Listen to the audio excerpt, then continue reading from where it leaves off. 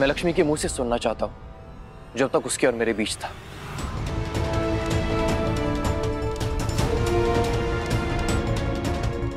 वो सच आज सबको जानना होगा।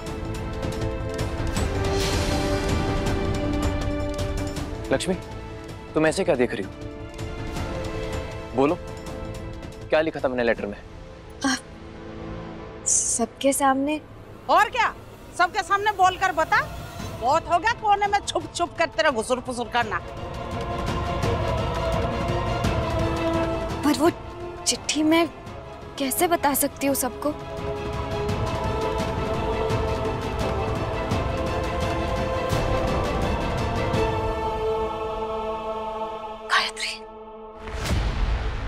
अब ये क्या नया खेल है? ये जिया कहाँ से आ गई? हमें तो डर है कि कार्तिक तमाशा ना कर दे।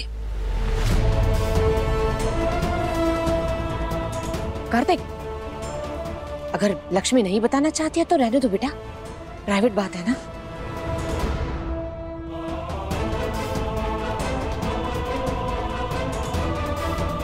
माँ, मैं सोचकर ही कह रहा हूँ। मैं चाहता हूँ कि आज सब लोग सुने, खुद लक्ष्मी के मुँह से।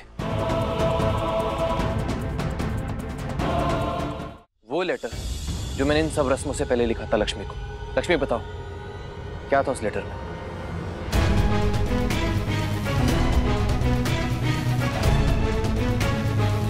अब आप लोग भी सुनिए। मैंने लक्ष्मी से साफ़ साफ़ क्या कहा था।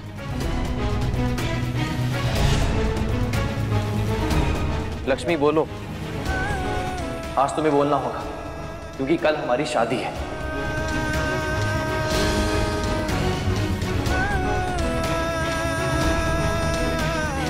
लक्ष्मी, मैं कब से तुमसे बात करने की कोशिश कर रहा हूँ, पर हमारी बात हो ही नहीं पा रही है। एक बार मेरी बात सुन लो, फिर उसके बाद जिसको जो कहना है वो कहता रहेगा। बता दे लक्ष्मू। जब कार्तिक खुद बोल रहे हैं तो ठीक है ना?